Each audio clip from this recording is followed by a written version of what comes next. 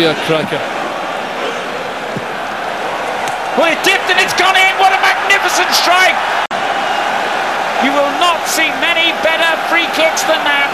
Juninho with a